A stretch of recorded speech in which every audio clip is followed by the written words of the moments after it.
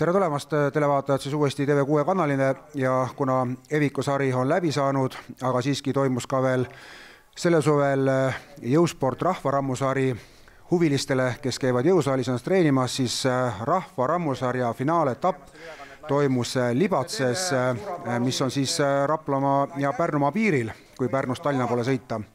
ja tegemist, nagu sai öeldud, finaaletapiga. Kohale jõudis siis üheksa võistlejat üheksa võistlejat, siis kolm naisvõistlejat, siis Ave Mikk, Aire Intsar, Erika Ristisaar ja kuus meest, siis Timo Kuusemaa, Alar Le Leesmets, Ulvar Vahter, Raido Liitmäe, Riivo Pirnipuu ja Joosep Allik. nii et ja naistel siis ja meestel mõlemal ka viis ala. esimene klassikaline rehvi kantimine. Baltari rehv siis jah, ja siis seesama rehv, mida siis tegelikult ka Eviku sarjas äh, naised siin varasematel aastatel kantinud on, et sel aastal oli natuke suurem rehv. nii-öelda profid siis, profide rehv on. jah, ja kuna tase on ka rahvarammusarjas äh, kasvanud, äh, siis tuleb siin ka natukene raskusi tõsta. ja saame siin võrdluseks varsti näha, et, et millise ajaga siis naised seda rehvi kandivad rehvi oli vaja kantida siis viis korda ühele poole ja viis korda tagasi. Jah, nii et tegelikult mingit äh, allahindlust siin ei tehta, et nii nagu siis äh, eelmisel aastal ka Eviku sarjas oli kümme kordust vaja seda rehvi kantida, kandivad seda ka nüüd Rahva rammusarjas naised. nii, Ave Mikk siis on juba finišisse jõudnud ja tema aeg on juba kirjas, viiskümmend üks, nelikümmend sai alla minuti. ja Erika siis veel üritab kontrollaega jõuda. kontrollaeg oli üks, üks viisteist ei, üks kolmkümmend on kontrollaeg. üheksakümmend sekundit on kontrollaeg jah, nii et äh, Erika saab siin ka veel kontrollaja sisse ja Erika on ka pikalt käinud äh, võistlemas. Äh, jah, rohkem jah, rahvarammusarjas on kaasa teinud ja. ja, ja siin siis tegemist küll ilusa suvepäevaga ja, ja Libatses õhtul ka väike simma seal toimumas. Ja kohaliku ürituse raames siis see rammuvõistlus ka toimus, aga tegemist siis ikkagi finaaletapiga, nagu ennem sai mainitud ja kaks etappi on ette toimunud, esimene etapp oli Jõgeval ja teine etapp siis Palamusel, kus kokku oli siis esimesel etapil kakskümmend võistlejat ja teisel etapil kakskümmend võistlejat.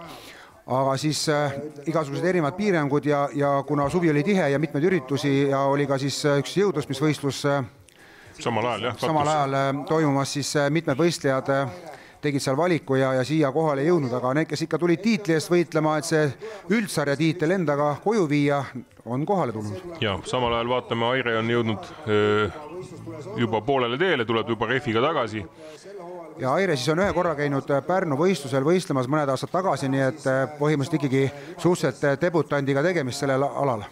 nii, tema üritab siis püüda Eerika aega, Eerikal on üks seitseteist üheksakümmend kuus juba kirjas, et et jääb veel mõned kordused teha.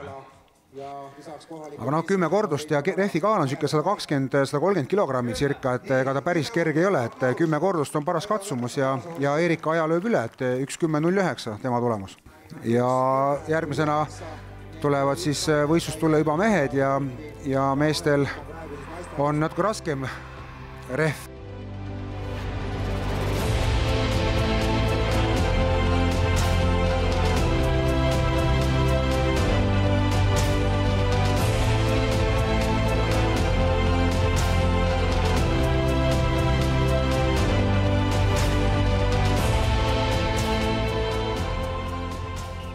ja mehed siis äh, jätkavad äh, selle rehviga, mida siis tegelikult Eeviku sarjas eelmistel aastatel kogu aeg oli ja sel aastal mehed pidid tegema raskema rehviga. tuntud Venemaa rehv, äh, circa kolmsada kilogrammi siis kaalu ja Alar Lehesmets ja Joosep Allik praegu siis siin võitlevad ja suhteliselt võrdselt lähevad mõlemad mehed. Alar Lehesmets on juba kogemustega võistleja, kes vist põhimõtteliselt Eviko sarja ei tee, et talle meeldibki just selles äh, rahvasarjas teha ja on siin väga hästi alati võistelnud. ja Joosep Allik siis ka on äh, nüüd äh, mõned aastad siin natukene proovinud, et ja võtab teistmoodi, võtab rehvi keskelt, sihuke pikk mees, aga rehvi kantimist teeb väga hästi, et. et tehnika on jah erinevad, et Alar võtab alt, seal käte alla saamisega läheb natuke aega, aga siis, kui saab, siis saab selle rehvi korra kõrgemale tõstetud ja saab nagu lihtsamini üle no ja tähelepanelik televaataja kindlasti märkas ka, et, et Rahva Rammusarjas mehed kindlasti ei ole nii suured nagu selles Eviku sarjas või siis siin Emajõe rammumehe võistlusel olid. et äh, mina küll ei märganud seda. ei märka midagi, kergema kaaluga mehed ikkagi on ei, ütleks, et, et see on ikkagi tugevama mehe võistlus, mitte suurema mehe võistlus. no vot, vaata, vaata praegu siin Raido Liitmäe äh, ja Timo Kuusemaad, Raido Liitmäe siis maadleja mees, kes on äh, rahvusvahelise taseme äh, maadleja, on praegu väga hästi seda rehvi kantimist tegemas, nii et äh, kui siin äh, Alar tegi äh, nelikümmend neli, seitsekümmend kaks ja Joosep Allik nelikümmend üheksa, kolmkümmend viis, siis äh, mäletame eelmise aasta võistlustest, et mehed siin alla neljanda sekundi olid ikkagi esiotsa mees, kes kantis ja praegu Raido Liitmäe on siin neljanda sekundi piiri nihutamas ja, ja lööb ära ma arvan Ja ka. Eviko sarjas oleks see, see aeg ikka väga hea juba. Äh, täitsa võimalik, et top kolm aeg alla neljakümne sekundi ja Timo teeb samamoodi nelikümmend kaheksateist, ütleme nii, et Timol ka siin äh, mõned sajandikud ainult jäid puudu, nii et mõlemad võistlejad teevad siin väga hea tulemuse. Timol vend on, võistleb Eviko sarjas ja, ja on hästi, ja teisel etapil tegelikult siis äh, Tanel Aeg, kes Timo vend on, käis, tegi äh, kaasa teisel etapil. ja et tõenäoliselt nad siis koos treenivad ja ja praegu siis äh, võistlustules äh, Ulvar Vahter ja Riivo Pirnipuu. no näha on, et mehed äh, treenivad jõusaalis ja kang neile võõras ei ole, aga rehvi kantimine on niisugune spetsiaalne asi, mida tuleb ka eraldi treenida ja selle arusaamine ja kuidas seda liigutus käib ja et hea oli vaadata, kuidas Raido Liitmaa oli selle rehviga kogu aeg kontaktis, et nii kui rehv kukkus, ta juba põhimõtteliselt teisest otsast kohe tõus, tõstis. Ja ega siin äh, suurtele meestele hakkab see tegelikult, mida aeg edasi, iga sekund edasi, hakkab see hapnikuvõlg tulema ja, ja järjest keerulisem on seda, seda sooritust taluda. no läbi aegade on ka maadlejad väga hästi öö, võistelnud rammumeeste võistlustel ja neile nagu sobib selline ala ja ütleme ka World Strongest Man'i kaks tuhat aasta võitja Janne Virdanen on ka endine, Endine mit, mitmekordne Soome meister maadluses. no see jah, kogu ütleme tegelikult ju üldine füüsis, see tegelikult see baas tuleb ikkagi maadlusest väga hästi sobitub siia.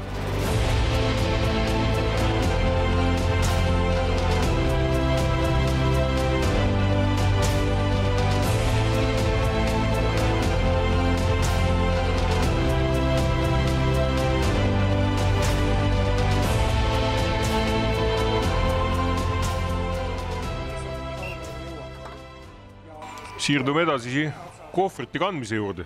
Ja naistel on siis kohvrite raskuseks viiskümmend kilo kummagi käe otsas. nii et kokku siis sada kilogrammi, selline õbluke naisterahvas kõnnib sada kilogrammi käe otsas. Jah, viiekümne kilone naine. Ja viiskümmend kummagi käe otsas. et eh, jah, televaatajad võivad siis mõelda, et enam-vähem võtta siin oma kehakaal, et eh, kui, kes on siis kaheksakümmend kilo või kes kaalub sada kilo, kes sada kakskümmend kilogrammi, et võtke oma kehakaal ühe käe otsa ja, ja teise käe otsa siis sama palju ja proovige siis kõndida, kaugele jõuate. nii ja siin on siis äh, vaja äh, distantsi peale kanda. Siin aeg ei loe, ots-, otseselt ei loe, aga kaudselt hakkab see aeg muidugi lõpuks sõrmedele ja jalgadele mõjuma, et see on selge. et ideaalis oleks mõistlik võtta niisugune mõõdukas tempo, aga see pöördekoht on äh, selline probleemne, et äh, pööre on siis kahekümne meetri peale jah. kui liiga kiiresti äh, liikuda, kui liiga kiiresti liikuda, siis äh, lähevad need kohvrid risti peale seda pöördekohta. Viisteist meetrit on äh, distants ja siis on vaja pööre teha, et, et selles mõttes ei saa väga nagu hoogu üles ka võtta, et kohe peab pidurdama ja pöörama hakkama. ja jah, need pöördekohad tavaliselt ongi, et lihtsam on kõndida otse, kui äh, et oleks pikem distants ja pöördeid vähem kui see, et pöördeid on rohkem ja lühem distants. no näha on, et raske on. aga täpselt, täpselt joone peale. ja nelikümmend viis meetrit läheb kirja. no nii, et äh, mehed äh, diivani peal, kes siis äh, praegu vaatamas on näiteks, et saja kilogrammiga, kui palju jõuaksite käia, et nelikümmend viis meetrit, et raske oli, aga Erikal pöial oli püsti ja tegelikult ise oli vist rahul, jah. No nii saame näha, et, et äh, kas siis järgmistel naistel, kuidas tuleb, no Aire võtab hästi rahuliku sammu, et ei, ei, ei kiirusta kuhugile. No ütleme Aire näost vaadates tundub, et ta tuleks praegu poest lihtsalt, et käis, tegi ühe väikse siukse mõnusa shoppamise ja, ja jalutab nende kohvriga siukse suhteliselt äh, rahuliku näoga, et ei mingit grimassi, kui ja aga siin võib jah kätte maksta see, et tegelikult väsib võib-olla näpp ära, et kui on vaja kiiremini kõndida, et ühelt maalt lihtsalt käsi ei jõua hoida. No praegu siin näeme, et äh, Ave siin äh, näogrimassist Avel natuke ütleme, see samm ei ole nii kindel ja teeb lühemad ja kiiremad sammud, et eh, selles mõttes õieti nagu kõnnib, aga, aga Aire võiks küll kiiremini minna ja ta jõuaks kindlasti kaugemale. nojah, ja nüüd läksidki kohvrid risti ära, et, et siia pidi maha panema nüüd Ave kuid äh, Aire tundub, et noh, tema jaoks nagu jah, nüüd peatab probleemi ei ole, tundub, et igapäevaselt tulebki poest äh, viiekümne kiloste no, kohvritega. vaatab, kuidas need kohvrid kõiguvad seal käe otsas ja, ja see kõnnak on juba selline, et see ei ole samm nagu lühemaks jäänud. üle puusa rahulikult, et siin ei ole näha, uskumatu, et, et. Äh, mina usun küll, et ta tuleb iga päev saja kiloga poest. no tundub küll niimoodi, et igal juhul siin paneb lihtsalt maha, siis ei ole mõtet rohkem kõndida et.... lihtsalt ei ole mõtet jah, kuuskümmend meetrit on piisav näidata ülemvõimu sellel alal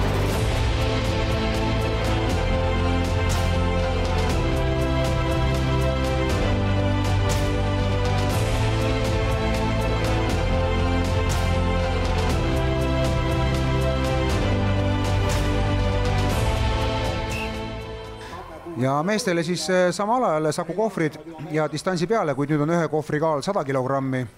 mehed lähevad siis eh, ümber pööratud järjekorras järgmisele alale ja siis eh, esimeses vahetuses Joosep Allik ja Riivo Pirnipuu ja siin tegelikult, kui enne meie jutt selle koha pealt pooleli, et see aeg on kaudselt määrav, siis kui nüüd ütleme, et kaks võistlejat, kes suudavad hoida minut aega neid kohvreid sõrmede otsas näiteks siis loomulikult võidab see, kes kõnnib kiiremini. kes kaugema, kaugemale minutiga jõuab, jah. jah, et sellepärast on ikkagi mõistlik võtta niisugune mõõdukas tempo. ja kui väga kiiresti hüppad, siis ta hakkab äh, rap raputama sul käes ja läheb käel ka raskemaks. no see ongi selline jah, et mõõdukas tempo, et, et kuidas nüüd äh, ma, kannad... madal, madal pikk samm. no nii, nüüd on see pöördekoht, et kui praegu maha panna, siis äh, Riivo siin endale punkti juurde ja ei tule ja täpselt mõlemad. täpselt, et see pöördepunkt ongi, et kas sa kõnnid üle joone või sa teed selle pöörde ära ja saad siis sinna väikse grammikese juurde, et. no aga Joosep tuli nagu selles mõttes äh, kavalamalt, et ta tuli rutem see kolmkümmend meetrit, et Riivo kannatas kauem Läks energiat rohkem. Nonii, siis äh, Timo Ulvar. Ulvar Vahter ja Alar Lehesmets siis on praegu võistlustules. tegi praegu taktikalise lükke, ootas ära et äh, Ulvar läheb ees minema. ja vaatas tema ta, tempot, kuidas ta liigub. vaatab tempot ja kui palju vaja kõndida aga nüüd. tundub, et tempot ei ole, et peab ise hakkama tempot tegema. ja nüüd läheb Alarile kohvrid väga hästi. ma vaatasin, ta läheb, teeb ühe ringi veel seal, aga ei, ei ikkagi võttis äh, küll targalt hoo maha, kuid ilmselt selle pöördest väljatulekuga pisut kiirustas. ja praegu tulid võrdselt selles mõttes, et. ja siin äh, viskab koonuste peale. no mõõdetakse seal mõni sentimeeter talle peale vist, et päris siia joone peale ei olnud. et äh, jah, et kohtunikud teevad seal ära oma töö ja mõõdavad täpselt, kas nüüd oli gramm üle joone või mitte, aga nüüd siis Alar siin veel võitleb, vasak käsi on kohe lahti minemas. sõrmed veel natukene, veel natukene kannatavad. ja keeras jälle risti. ja siin surub juba jalgade peale ka, ei saanud rohkem ja no tundub, et on raske, et ja läheb siis Ulvarile kolmkümmend meetrit ja üks sentimeeter kirja ja Alar Lehesmets nelikümmend seitse, kolmteist, nii et äh, nüüd äh, Alar peab vaatama, mida teeb siis Timo Kuusemaa ja, äh, ja Raido pidi andma endast maks, sest jah, kaks meest on veel tema selja taga ja neil on see number ees. ja väga lihtne on tagant nüüd selles mõttes tulla, et kõnni üks samm üle. kõnni üks samm üle jah, et, et oleks vaja teha kolm otsa pluss natukene peale, et igal juhul, kui kolm otsa ära teed, siis oled juba tegelikult. Äh, natuke peale ka veel jah, kolm otsa ja peale. aga noh, vähemalt teise koha saad, kui kolm otsa ära käid, aga Raidol tundub olevat siin, kui esimene ala tuli ülihästi välja, siis siin tasakaaluga natukene on äh, probleeme. ja siin libises, sõrm libises lihtsalt lahti, et ja Raidole läheb äh, kakskümmend seitse, seitsekümmend jäi mõni mm, -hmm. mõni meeter ei puudu, et sinna kolmekümne mm -hmm. meetri joon ära Timo täpselt joone peal, et nelikümmend viit meetrit ei tulnud. ja üks, üks, äh, üks kohver jäi jah. mõõdetakse kohvri tagum-, tagumise kohvri tagumisest servast mõõdetakse, nii et äh, jääb siis nelikümmend neli, viiskümmend Timole tulemuseks. Alarile siis alavõit tuleb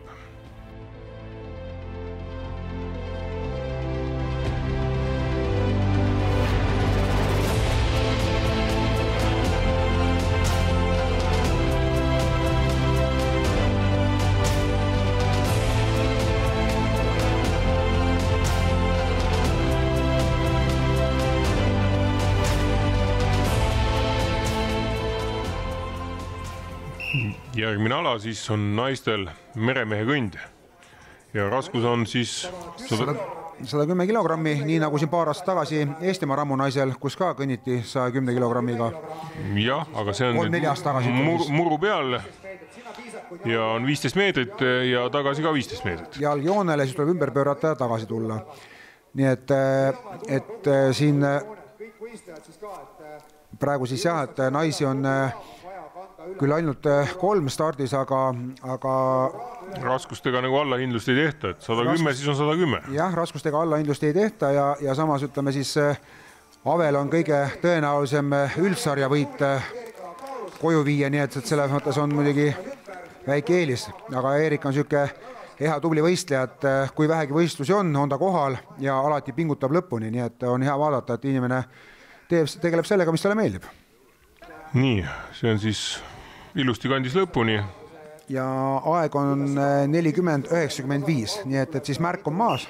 no tõenäoliselt, kes kohvrit hästi kannab, kannab ka eh, seda hästi no siin on praegu näha, et Aven äh, kindlasti rohkem kannab seda meremeest ja tehniliselt oskab ta paremini sellega liikuda, et äh, siin ei tohiks päris, ütleme, põlve ära fikseerida, et nagu praegu näha, Ave põlved on ilusti natukene kõverad, et äh, Ma pani on, maha. on oluliselt stabiilsemas asendis ja nüüd ikka pika sammuga hüppab järgi tuleb, et tagasi tulles sai Aire nagu ärkas alles, et jah, esimese otsa võttis liiga rahulikult ja kartis seda, et tasakaalu ei leidnud ja ja siit võtab nüüd Ave alavõidu hoopis ja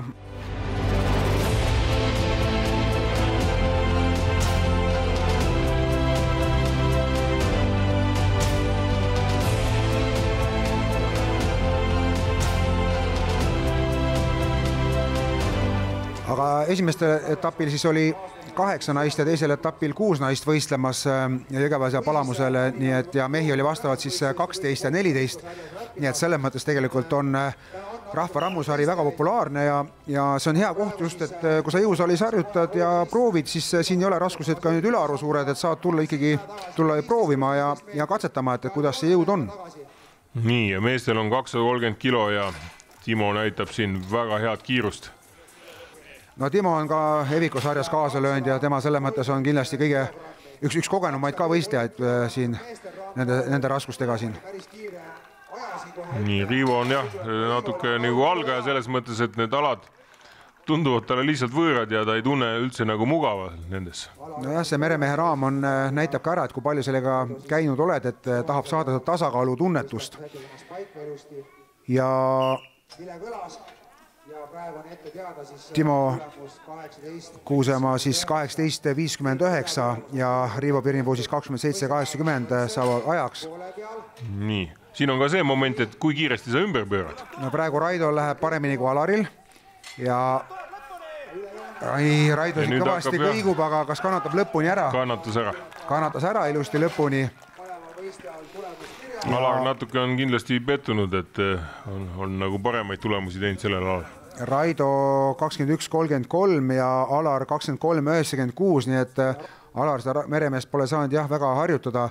ja aga praegu siin kindlasti ju Timol ja Alaril käib tegelikult heitlus äh, üldsarja võidu peale, et kes selle sarja võidab, nii et, et iga punkt ja iga ala on siin väga olulised, nii et mehed ikkagi üritavad ka endast maksimumi anda. Alar on üldse hästi mitmekülgne sportlane, kas ta on mitte maratonidel kaasa on teinud? kõikvõimalikud maratonid, on jooksumaraton, suusamaraton, rattamaraton, et mees on jah, et, et käinud maratonidel ja teeb ka siin rammusarja. nii et selles mõttes tõesti väga mitmekülgne sportlane, et ka kestvusala mehed võivad tulla rammusporti tegema. nii ja Ulvar jõuab ka finišisse. Ja Ulvar teeb päris hea tulemuse, üheksateist kaheksakümmend viis ja Joosep kakskümmend kolm seitsekümmend viis. Ulvar teine aeg. teeb hea teise Timo, tulemuse. Timo selja taha, jah. Timo Kuusemaa saab siit alavõidu, Ulvar teine ja ja Raido Liitmäe kolmas.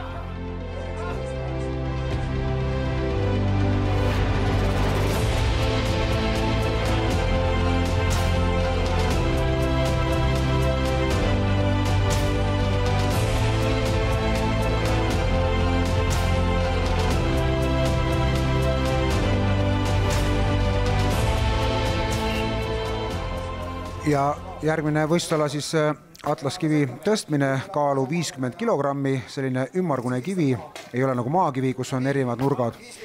ja siin tuleb siis tõsta seda korduste peale et äh, tõstad nii palju, kui jõuad kontrolli aja jooksul. kontrolliaeg on üheksakümmend sekundit ehk poolteist minutit ja no see on selline korralik äh, ütleme kaheksasaja meetri jooks peaaegu, et, et see on päris korralik. Et Järje, järjest seda kivi ja ega ta, kui üle tõstad, ega hingetõmbepausi väga ei teki, et kohe sulle see kivi tagasi veeretatakse ja. no Erika teab, et tagant on ju teised naised veel tulemas ja, ja tema esimesena teeb, et siis äh, peab tegema võimalikult palju kordusi. jah, aga iga liigne liigutus võtab aega, võtab aega ja kogusummas võib see sul mitu kordust maksma minna no tihtipeale jah, on see probleem, et minnakse tempot tegema, et võetakse põlve peale ja hakatakse tõstma ja nüüd seesama see äh, raami siis meremehe raami see serv, millest nad üle tõstavad, et tõstavad selle ääre peale, äh, ei lükka piisavalt tugevalt kaugele ja kukub see tema enda poole peale tagasi ja siis on lisatõste noh, ja kui sa viis-kuus sekundit ühe selle tõstega kaotad ja sul on konkurent, kes teeb sama, sama tempoga, siis tegelikult noh, sinna see punkt ilmselt läheb ka. muidugi see viiskümmend kilo on neil nagu väga lihtne tõsta, aga siin need kordused hakkavad mängima ja mida rohkem kordusi, seda suurem on väsimus ja siis hakkavad vead tekkima. jah, siis hakkad lohakamaks muutuma jah, et, et noh, nüüd eh, väga tubli tulemuse. ja pöial püsti tundub, et on rahul. rahul, et üksteist kordust viiekümne kilost kivi ega päris poolteist minutit, ega see on eks nad on ise tempo. neid tõstnud ja, ja teavad, mis see tulemus nende jaoks on ja ütleme, üksteist kordust on hea tulem. no on hea tulemus jah, et praegu see ave ka korraks natuke läks tasakaal ära ja see kõrgust äh, sellel võistlusel siin Libatses äh, väga nüüd kõrge ei ole, et naistel piisab enam-vähem selle puusani ja, ja sirutus ja ongi üleval põhimõtteliselt. aga on võistlusi, kus on vaja tõsta ikkagi rinnakõrgusele ja, ja, ja meestel siis vahepeal kuni meeter seitsmekümne või meeter seitsmekümne viie kõrgusele või meeter kaheksakümmend isegi. nii et, et selles mõttes on. Aire peab ka põlve mehed, peal eh, asendit korrigeerima. lühemad mehed ei ulatugi jah ja üksteist kordust on tulemus ette teada, nii et, et selles mõttes praegu siis eh, nii Aire kui Ave mõlemad äh, saaks. Avel on hea rütm, läheb täpselt ühtemoodi, et eh, näha, et Aire väga ei ole niisugust kuuli tõstnud, et on nagu, teeb lisa, lisaliigutusi palju jah, aga ütleme, et eh, arvestades seda, et võib-olla tõenäoliselt esimest korda niisugust kivi tõstab, siis on ikkagi ja nüüd oligi näha see, millest ma ennem rääkisin, et tõstab selle kivi sinna üles servani ja siis kukub uuesti maha. jah, oleks pidanud võtma põlvele ja siis tegema. natuke sättima kätte on ju ja, ja siis uuesti. see oli nagu tühi, tühi töö ja korduskirja ei saanud. jah, et lähevad, ega muud ei juhtugi hullu, kui sekundid jooksevad. noh, jõudu jääb ka vähemaks ja läheb natuke energiat, jah. parem oleks niisama puhanud selle hetke ja no nii, et äh, siin praegu on äh, juba Ave läinud liidriks. neliteist kordust on tehtud ja. ja ei ole enam vajadust, ootab, vaatab, mis Aire kõrval teeb ja nüüd on äh, ka Vilja, no läks tõstma veel jah, et, et äkki jõuab, aga aga eks seal on ka niimoodi, et eh, ootab seda kohtuniku vilevõistlejat juba saaks puhkama ära, et tihtipeale, kui nii pikk see poolteist minutit pingutus on, aga, aga alavõit, neliteist kordust läheb siit eh, Avele ja Aire Eerika jäävad siis jagama. ütleksin, et väga-väga hea, head, head tulemused on ikkagi, üle kümne korduse tegid kõik, kõik võistlejad. et kui naistele võistlused hakati korraldama, siis eh, sellised raskused olidki tavapärased, et et tänaseks on muidugi Eeviku sarjas seal juba tugevamad naised tõstavad suuremaid raskusi. isegi saja kilost kivi tõsteti sel aastal jah. nii, ja meestel on sama harjutus, aga kivi on vähe suurem ja kivi on nii palju suurem kui üheksakümmend, sada kilo on. jah. sajakilone kivi ja nüüd on näha, et, et siin ka, et nagu naistelgi, siis see raami kõrgus, millest üle tuleb tõsta, on madalam ja noh, Joosep on pikk mees ka, et tal on vaja teha ainult natuke selg sirgu ajada ja, ja ongi sealt raamist üle see kohe. siis äh, Riivo kasutab niisugust äh, äh, optimaalset taktikat, et paneb sinna nüüd Joosep samamoodi, et pani korraks peale toetuma, et ei ole mõtet teha liigseid liigutusi ja tõsta seda peaaegu rinnale ja siis üle panna, noh, iga kord nagu panevad ka sinna mm, selle toru peale on ka muidugi viga, et tegelikult võiks ta tõstagi seda kivi olla samm lähemal no sa paned ta toru peale selles mõttes, et sa tõstad ta üle toru ära ja siis ta võib toru puutuda, siis oleks okei okay. aga see, kui ta nüüd äh, hooga tõstad. nähagi ongi, et nagu võistleja on nagu liiga, liiga kaugel, et seal tõste on. sa pead keskele ja siis hakkad juba arvad, et on kõik hästi, paned toru peale ja kukub kivi sinu poole peale, vot noh, siis ongi selles mõttes jälle pahasti ja, ja siis on kohtunikud halvad ja abimehed. ilmselgelt no on hea nagu vaadata seda kõrvalt võistlejal endal ka ja õppida siit et, et järgmisel aastal, kus, kus annaks nagu seista täpselt niimoodi ja tõsta, et sul pea oleks na, na, äh, on, napid selle toru lähedal. ja nüüd on näha, et kui Riivo peab tegema lisasammu sinna, et jõuda lähemale. no nüüd ja praegu ta venitas ennast üle ära. aga tihtipeale tehakse lisasamm sinna lähemale. nii, aga Riivo saab äh, kirja seitse kordust ja Joosep saab kaheksa kordust, nii et äh, päris korralik tulemus meeste poolt siit saja kilost kivi, et et praegu siis kogusummas eh, Riivo seitsesada kilo ja, ja siis Joosep kaheksasada kilogrammi tonnaaži kokku tõstetud ühe harjutusega. ja võiks laadijana tööle võtta küll. võiks küll jah. nii see on nagu partneris vastase ülestõstmine peaks olema maadlejale. maadlejale peaks sobima, peaks sobima see väga hästi. ja üle rinnaheide aga, aga jah, et ütleme, et natukene võib-olla see, see liigutus iseenesest võõras, Alarile on kivide tõstmine sobinud alati tal on praegu tulemus ette teada, mida kindlasti peaks lööma minema, aga sealt on veel tulemas kaks meest. Alar on hästi lähedal, nagu ma ennist rääkisin. jah, pea tõmbab veel eest ära, enne kui tuleb. väga täpselt, täpselt tuleb kivi. et see on koht jah, kus oleks nagu õppida teistel. aga Raido on tõsiselt raskustes praegu, et selles mõttes on päris huvitav, et võib-olla on ta harjunud jah, käed ära siduma, et niisama ei tule no tegelikult üsna alt saaks sealt kivist kinni võtta iseenesest, et maadlejatel peaks olema see haare ju väga tugev. no ju siis on koht, mida harjutada, võib-olla see tuleb ka maadluses kasuks. kiviga luurik alati möllas seal. no maadlejad et... tegidki tollel ajal kangide ja kividega ka palju trenni, et. ajalooliselt on teada, isegi luurik oli mingi kivi seal, mida ta alati äh, treenis ja no nii, kivi on nüüd süles, et nüüd on ju võimalus, nüüd oleks käed ära siduda lihtsalt. ja just see oli, et liiga kaugel oli ja tõste ei olnud piisavalt kõrge, enne kui hakkas peale panema. ja siin tegelikult iseenesest ju Raidol käed oleks täitsa ulatunud, et, et võtta sealt alt võimalikult kinni, sõrmed ära siduda ja üle tõsta, et aga Raido siin praegu lõi käega, et noh, no see on see, et, et kui sa proovinud ei ole, ilmselt on keeruline teha ka. nii.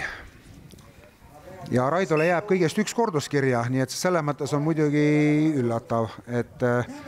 pettumus. et pettumus. pigem pettumus jah ja Alar praegu pöial püsti, et siin praegu jääb sooritusega rahule ja, ja Alar teeb kümme kordust.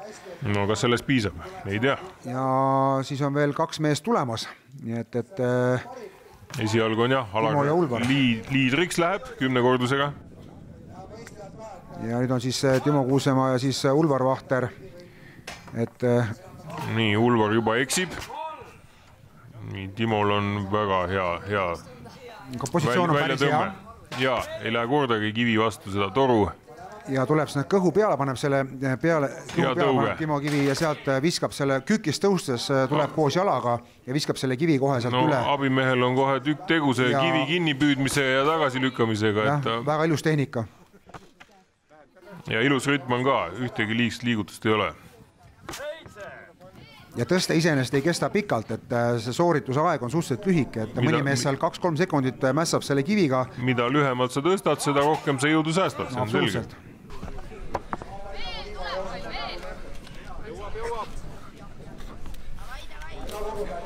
ja ma vaatan, et meestel on käed ka kinni seotud, kas oli äh, lubatud liimi kasutada vist? liimi seal ei kasutatud et see on lihtsalt teibitud käed kinni, et äkki paremini hoiab, et kuna ilm oli hästi palav, siis äh, käed higisid. mis see to toruteip nagu aitab ei oska öelda, et. Äh, MacGyver üksteist võib-olla vaadanud profide pealt, et profid panevad käed kinni sellepärast, et liimi panevad, aga nii ei, ei näe nagu mingit põhjust.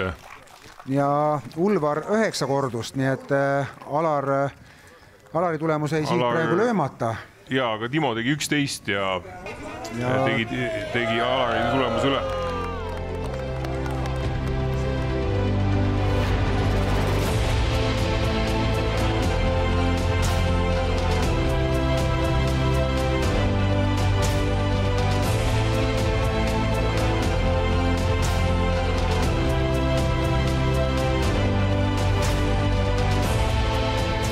ja oleme jõudnud siis äh, finaalide finaalini, nii et jõusport rahva rammusarja kolmas etapp ja, ja viimane võistlusala naistel siis käimas, mis on jõutõmbekombo. nii, soojenduseks oli siis aksliga jõutõmme Apollon kangiga jah, viiskümmend kilogrammi kaalu. ja see on siis sihuke jämeda läbimõõduga kang. siis oli järgmine raskus oli kang, seitsekümmend kilogrammi. nii, see oli ka veel soojendus ja siis tuli kolmas tõste sada kilo ja nüüd oled raami juurde ja siis sellega on vaja veel kordusi teha veel nii palju, kui tuleb. jah, et sada kilo jõutõmmet eh, sada viisteist kilo on raami raskus. jah, et sajakilone kang ei olnud kellelegi vist, ma arvan, probleem, et ja siin muidugi jah, raamiga on selles mõttes väike nüüd eelis, et et see ei ole nii sügavalt see tõmme, aga seest see töötab jala ikka hullumoodi täis, et korralik piimhape, mis sinna tuleb, et et see on selline päris karm ala tegelikult, et sa teed kolm tõstet küll ette ja siis lõpus selle raamiga siuksed poolkükist liigutusi, et, et. ja pool kükk, pool tõmme. nojah, ja see minut kolmkümmend, et on päris karm ala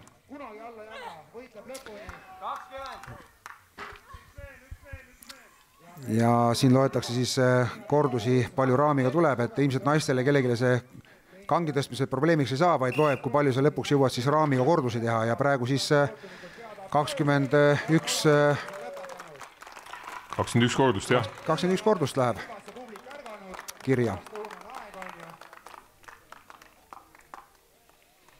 jäänud on siis veel naiste arvestuses siin Ave ja, ja Aire et näod vastamisi siis nii, Aire teeb siis järgmisena.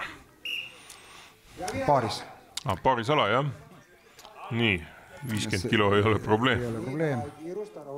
siis on kangiga seitsekümmend kilo. ei ole ka probleem. sada kilo ka kohe järgi, kettad tulevad otsa ja siis on raamiga vaja teha nüüd. tulemus on ette teada, Erika tegi kakskümmend üks kordust nüüd on vaja. lihtsalt töötada. kujutan ette, et kui päris karm mõte, ma tõstan nüüd kolm korda kangi ära, lähen sinna raami ette, siis mõtlen, ma vähemalt kakskümmend kaks kordust tõstma seda raami, et see ei ole üldse ahvatlev mõte. Aga noh, kui tahad siit praegu, Avel on kõik head šansid võtta siit ka rahva rammusarja tiitelvõit naiste arvestuses, nii et loomulikult tuleb see võidelda lõpuni ja. ja võistlejad on nii pandud ka, et vaatavad üksteisele otsa samal ajal ja et silmside on olemas ja saad sama hetkel jälgida, mis vastane teeb. Ja Libatse rahvale ka siin palju rõõmu, et õhtul on seal Simman ja väike laat on praegu seal toimumas ja ja kindlasti oli see natukene uutmoodi üritus äh, kohalikule rahvale. ja loodame, et see järgmine aasta seal ka ikkagi võistlus toimub ja, ja aasta siis kaks tuhat kakskümmend kaks ja igal juhul kohalik rahvas elas seal väga hästi kaasa võistlejatele. ja finaaletapp siis äh, naiste võistluse jaoks äh, Rahva Rammusarjana läbi saamas ja Ave teeb äh, nii tugeva tulemuse nagu kolmkümmend kordust raamiga. Ja võtab siit alavõidu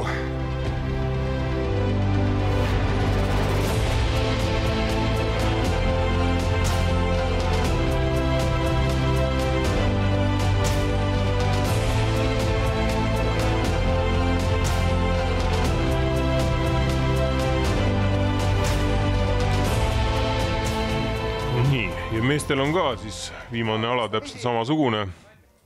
ja Apollon kang sada viiskümmend, kang sada seitsekümmend, kang kakssada ja raam kakssada kakskümmend viis.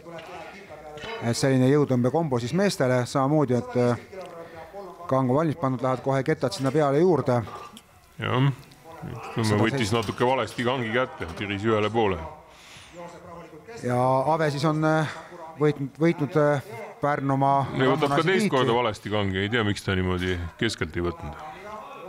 Ave on võitnud tiitli kätte, aga mehed veel võitlemas siin ja praegu siis Joosep jah, pealt haared, et võiks olla üks käsi ühtepidi, teine teistpidi, ikkagi püsiks paremini ja kakssada kilo tundub praegu siis ikkagi olevat Joosepi jaoks liiga palju. ja tema jaoks saab ka finaaletapp läbi. Riivo peab siit nüüd kõvasti, on võimalik punkte endal tagasi teenida, sest esimestel aladel ta päris ebaõnnestus jah. ees, eesotsas pole olnud, et no nii, et tundus, et liiga kerge on ja ripp segab ütleme, et ilmselt, ilmselt hakkab hapniku peale, et eh, kuna tööd on juba päris palju tehtud, siis eh, hapnikuõlg hakkab tekkima ja see vöö keha ümber pigistab ja tekib tunne, nagu ei saaks hapnikku kätte enam nii hästi.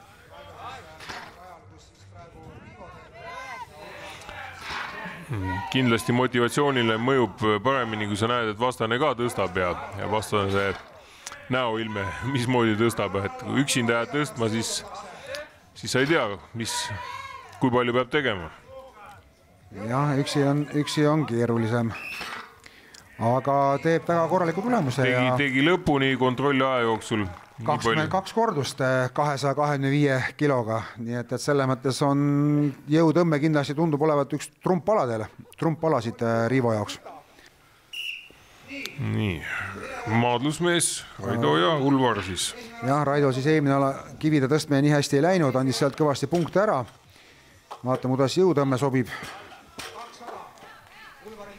noh, Raido ka kergekaalu mees tegelikult ja ja selles mõttes kakssada kilogrammi ei ole probleem. nüüd alles võistlus hakkab. Et jah, et aga vaadates jõutõmmet, siis äh, Raidol ei tohiks olla sajakilose kivi tõstmine seal kümme kordust kindlasti probleem, et äh, selg vähemalt on tugev. nojah, kivi ja kang on kaks eri asja. ja no aga nüüd nad selle nii näpp tundub, et ei pea.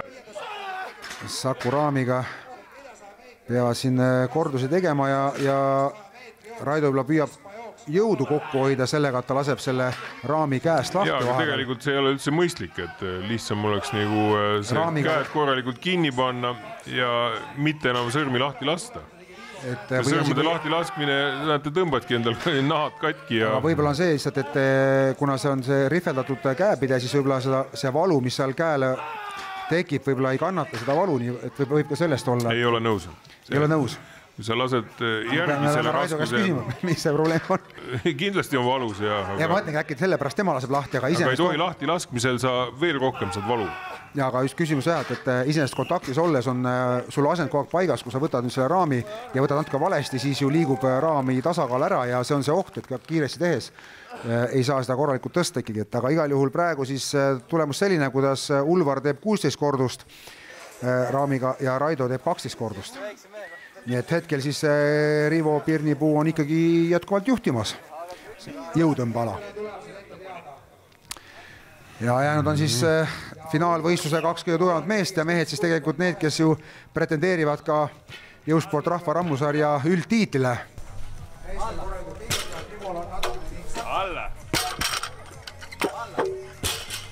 Ja Alar on natukene kiirem, saab väikse edu, aga noh, ütleme nagu sa ennem ütlesid hästi, et töö alles siit pihta hakkabki. töö hakkab siit jah, see ei ole määrav.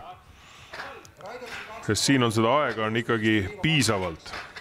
et jah, juba kahekümnendal, kahekümnendal sekundil hakkasid tegelikult mehed äh, sinna raami tõstma ja, ja kui sul üheksakümmend sekundit on kontrolliaeg, siis äh, tuleb äh, ikkagi üle minuti tööd teha.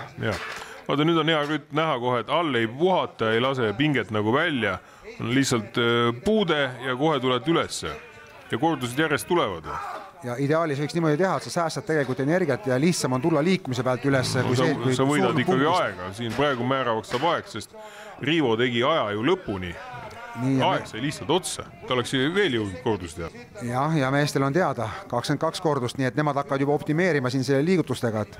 no praegu tuli mitu kordust tuli hästi kiiresti ja hea rütm oli. näed, said isegi hetke, hetke hinge tõmmata. jah, ja Ulvaril on siis äh, teisel kohal hetkel kuueteist kordusega. ja meestel käib veel omavaheline duell, et kes siis selle sarja lõpuks võidab. no küll kannatavad mehed. ja ei Alar, kakskümmend kolm kordust kirjas, sellest piisas.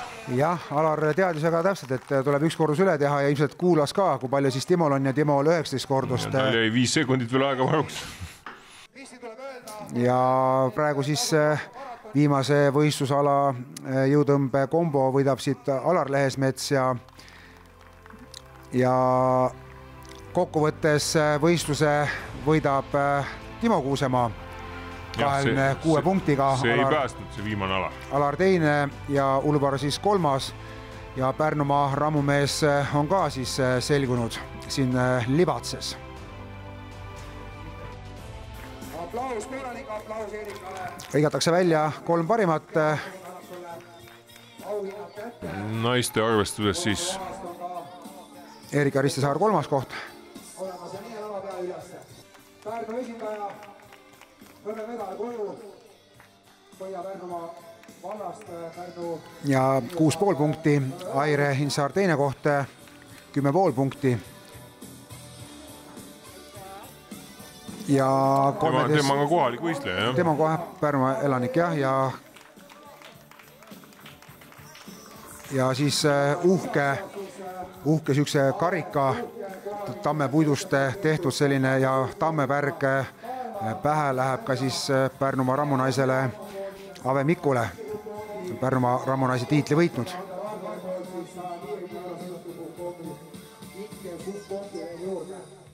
nii et äh,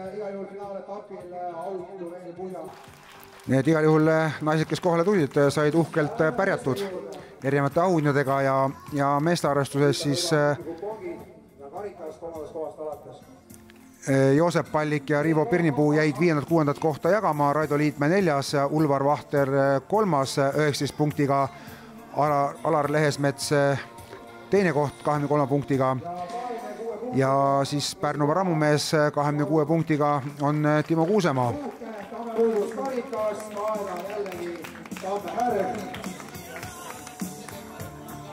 kohalikud meistrimehed tegid siis jah uhkest tammepuust sellise uhke karika, et on midagi ilusat ka riiuli peale panna ja tammevärk pähe, et nagu vanasti täpselt nii.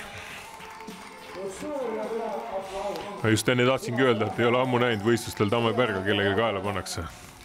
jah, et enne kahe tuhandet aastat oli see hästi tavapärane, igal rammumehe tiitlil peaaegu, et tammepark oli lahutamatu osa. Nii ja selline siis äh, rahva rammusarja finaaletapp sai siin Libatses, Pärnumaa rammunaine, rammumees on selgunud ja järgmisel äh, nädalavahetusel ootame, kallid televaatajaid, teid vaatama juba Power Track rajavõistlusi. kohtumiseni kohtumiseni. no nii, kuidas tänase võistlusega rahule jäid? väga rahule jäin. võistlus oli päris, ütleme nii, et tihe rebimine. et nii mõnigi ala oli niisugune, et kus mõtlesin, et kas ikka jõuad või ei jõua, aga noh, oli vaja üldvõitu, siis pidid pingutama kogu väest, et andsin endast kõik, mis võimalik anda oli. et näha et teised mehed on ka tugevad, et iga aastaga raskused kasvavad ja et ei ole enam see, mis vanasti oli no Alar pakkus vist päris kõva konkurentsi tegelikult, eks kogu selle Rahva Rammusarja kõigi kolme etapi jooksul, eks? ja täpselt nii ongi, et temaga ongi see konkurent, et kas mina või tema. et õnneks seekord juhtus niimoodi, et olin mina no kuidas on äh, see Rahva Rammusari, arvad, et äh, võiks järgmisel aastal samamoodi korraldada, et äh, tegelikult igati asjalik äh, sari välja mõeldud jälle? ja kindlasti võiks seda järgmine aasta uuesti korraldada, et vaatasin nagu see aasta on ikkagi väga palju rahvast olnud.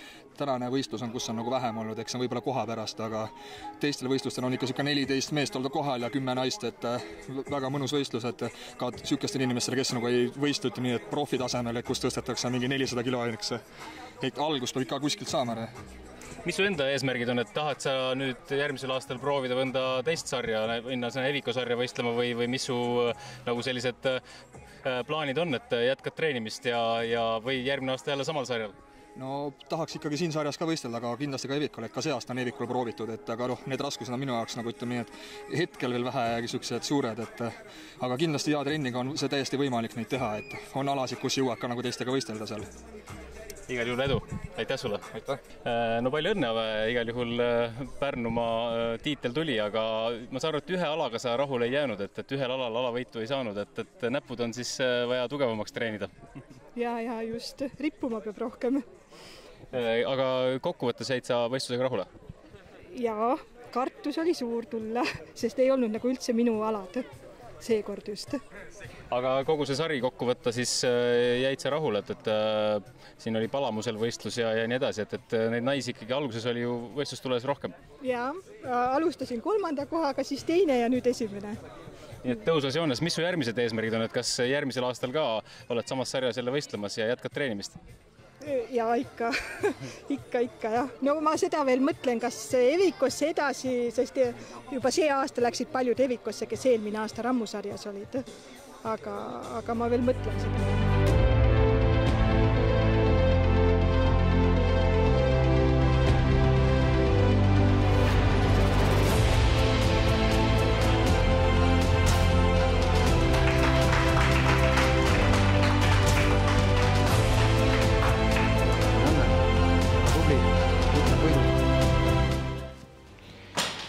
rahva rammusarja meeste arvestuses võitis Timo Kuusemaa.